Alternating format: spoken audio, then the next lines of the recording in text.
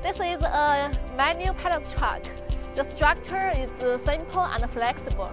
It has a three-turn lifting cylinder.